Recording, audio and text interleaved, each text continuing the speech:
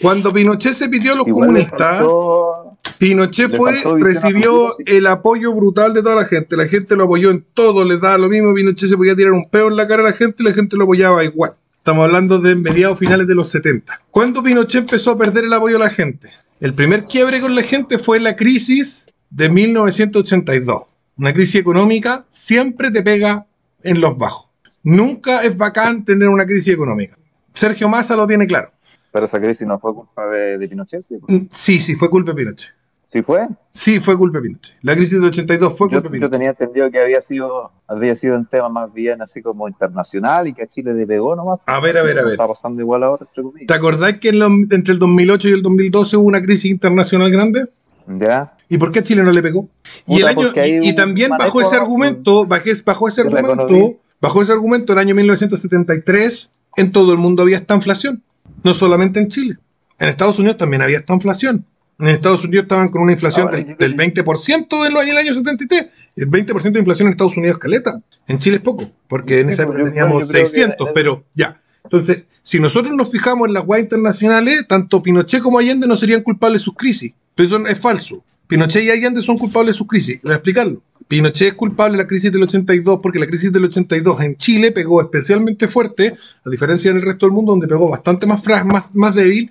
La crisis del 82 nos la tuvimos que tragar para que los empresarios extranjeros no compraran en la industria nacional. Esa no la tuvimos que comer por eso, porque Pinochet quería privatizar y los nacionalistas no querían que los, dueños de la fábrica fueran gringos, por poner un ejemplo, digamos, ¿ah? por decir un nombre, de otro país, digamos. Ahí es donde se genera la problemática de cómo hacemos para privatizar, pero que las empresas no sean de los gringos. De eso se estaba conversando. Y entonces se creó la fijación del precio del dólar. Porque si nosotros, lo que calculó Pinochet, que si el dólar valía muy poco, los gringos no iban a poder comprar nuestra empresa porque el peso estaba caro y las empresas estaban vendiendo el peso chileno. Y ese cálculo es acertado.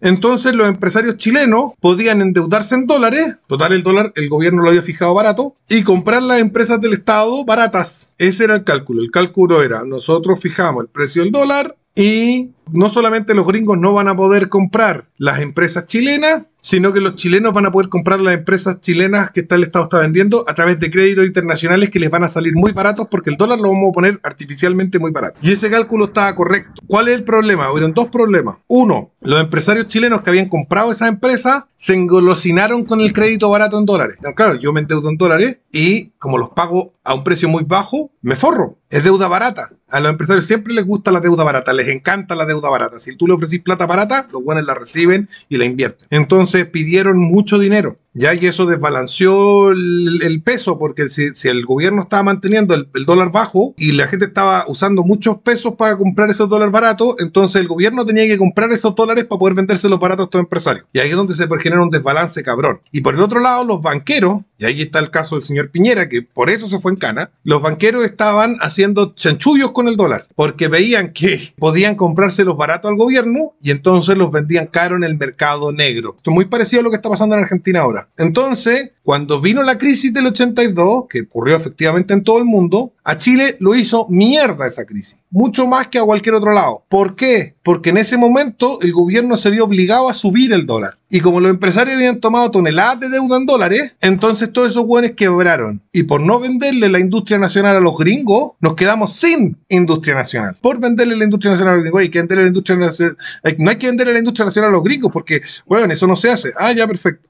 Entonces nos quedamos sin, sin industria nacional. Y la gente dice, no, Pinochet se echó a la industria nacional. No, la industria nacional dejó de ser nacional porque el gobierno no podía mantenerla porque era cara, era cara de mantener. La industria nacional era una cosa que costaba mucho que funcionara, el gobierno perdía plata con esa, con esa empresa. El gobierno era dueño de una empresa, pero esa empresa en vez de hacerlo ganar plata, lo hacían perder plata. Entonces tenía que venderla para que los privados vieran cómo ganar plata con esa empresa. Pero, como los nacionalistas, que eran parte de una de las facciones que apoyaban al gobierno militar, no querían que esas empresas que se iban a vender cayeran en manos de empresarios extranjeros, sino que querían asegurarse que cayeran en manos de empresarios chilenos, pidieron que se fijara el dólar. Y cuando se fijó el dólar, se sembró la crisis, porque los hueones empezaron a pedir más préstamos en dólar de lo que necesitaban y los bancos empezaron a jugar con el dólar cagándose al Estado.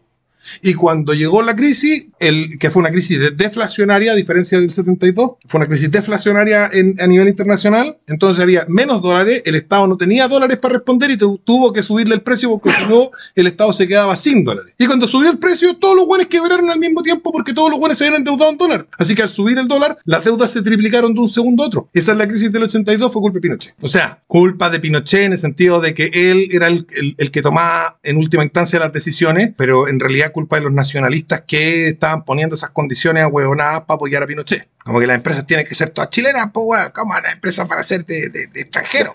Después, de eso vino lo de, los, lo de los Chicago Boys. No, los Chicago Boys fue antes. Esto, esto que estamos hablando es parte de la pugna que hubo entre los Chicago Boys y, y los nacionalistas. Los nacionalistas y los Chicago Boys peleaban en el gobierno militar. Porque los Chicago Boys querían una weá ah, tipo Milley y los nacionalistas querían una weá tipo Perón. Y Pinochet conciliaba, y una de las formas de conciliar que hizo fue esto de poner, fijar el precio del dólar. Fue una de las, las medidas de conciliación entre ambas posturas. Era la, disputa que tenían. Claro. Había una disputa interna que estaba marcada por el tema del liberalismo en la economía, si las empresas iban a ser privadas, si iban a ser públicas, si iban a ser del Estado, si iban a ser de privados, si iban a ser de privados extranjeros, si iban a ser de privados nacionales, y eso genera un ánimo de conflicto que Pinochet, para poder zanjar esa disputa, para poder dejar que a todos felices y tranquilos, por decirlo de alguna manera, dice ya, las empresas se van a vender, pero voy a fijar el precio del dólar para que no las compren los extranjeros. Los, los Chicago Boys quedaron tranquilos porque se iban a vender la empresa y los nacionalistas quedaron tranquilos porque no iban a ser de empresarios extranjeros.